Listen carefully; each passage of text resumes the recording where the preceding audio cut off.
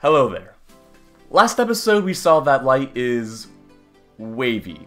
Not wavy as in fly fresh and stylish, but rather we saw that light is really just ripples and oscillations in what is known as the electric and magnetic fields. These light waves are smooth and continuous, like ripples in water. So how exactly did we prove that light is an electromagnetic wave? Well first, we used Maxwell's equations, which are basically four very important equations that describe electricity, magnetism, and their relationship to each other. We saw that with the correct technique, we could manipulate these equations into what's known as a wave equation.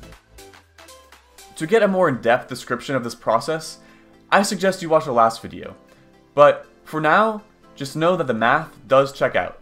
We then performed a very famous experiment known as the double slit experiment. We essentially shot a laser through these two slits. This is where it got weird. If asked what light we expected to show up behind these two slits, it would seem obvious that we would expect two parallel bands of light. But that's not actually what happened. When we shot the laser through these two slits, we saw this interference pattern. This interference pattern is indicative of light's wave nature. So, with all this evidence, it seems that we can conclude that light is an electromagnetic wave and, and that's that. But that's not actually the case. At the beginning of the 1900s, this guy, Albert Einstein, noticed something funky. He noticed that if you shine light onto a charged surface, or a surface with more electrons than protons, the excess electrons would begin getting ejected from the surface, and eventually the surface would lose all of its excess charge. This phenomena is known as the photoelectric effect. But this interaction between light and matter had something weirder going on behind it. To show you what I mean, let's head back to my garage where I set up a little experiment. This is a very basic electrometer. We can tell whether or not a negative charge exists on it by looking at these two pieces of foil. For instance, after adding a charge onto the electrometer, we can see that the pieces of foil repel. If I then touch the electrometer, the electrons transfer to my hand and the pieces of foil come back together.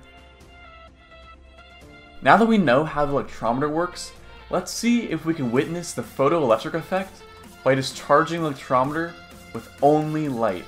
We can use this metal surface as our target. I'm going to start with a high intensity lamp, because I think if I hit the surface with a lot of energy, the electrons will begin getting emitted from the surface.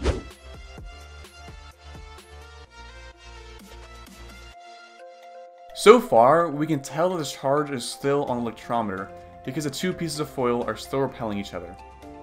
So maybe we need a new strategy. Fortunately, I have this ultraviolet lamp that might just do the trick.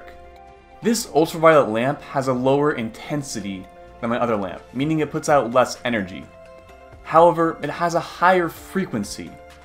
As a reminder from last episode, a light's frequency tells us how quickly its electric and magnetic fields are oscillating. Red light has the lowest frequency of visible light, while violet light has the highest. So let's see if this high frequency, but low intensity, ultraviolet lamp can do the trick.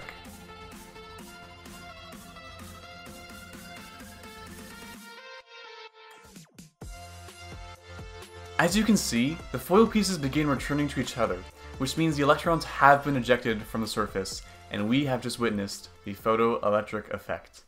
However, this whole experiment seemed a little counterintuitive. One would usually suspect that a higher intensity light would make the surface start emitting electrons. But in reality, it is the higher frequency light that makes the surface start emitting electrons. Moreover, the intensity of the light, or the amount of energy we're hitting the surface with, has no effect on this process. So the big question remains, why?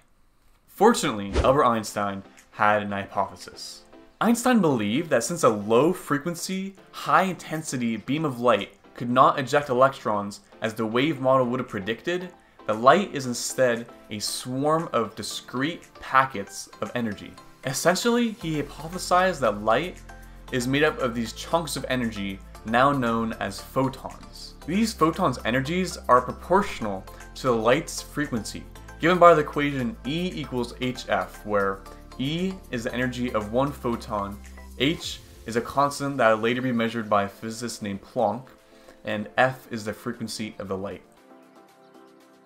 This theory is a solution to this problem because higher frequency light would therefore have higher energy photons. These higher energy photons would then have the energy to eject individual electrons, unlike lower energy photons from lower frequency light. At this point, you may have caught on to a very important contradiction. All of the last episode and the beginning of this episode, I was talking about how light is this smooth, continuous wave. Yet Einstein's theory of discrete packets of energy completely contradicts this idea. So, you might be wondering, which is it? Is it a smooth, continuous electromagnetic wave? Or is it a discrete packet of energy? Well, it's both. This seemingly contradictory explanation of light's nature is known as wave-particle duality. Before you attempt to visually understand what this means, I would like to remind you that these processes happen on a scale so inconceivably small that our attempts to logically understand what's happening from our experiences on a much larger scale are almost pointless. However, what we can do is look at the evidence we've gathered, whether it be the evidence of light's wave nature from the double slit experiment, or the evidence of light's particle qualities from the photoelectric effect, and try to piece together an answer to this extremely difficult question, what is light? To end this video, I'm going to give you a little hint of what's to come next. In 1924, a physicist named de Broglie began to theorize he knew that in physics there are always patterns and there are rarely individual phenomenon. So he thought, if light which was always thought of as a wave can also be described as having particle qualities, then maybe matter, such as electrons, that have always been thought of as particles, can also have wave qualities. And as crazy as this sounds, he was right.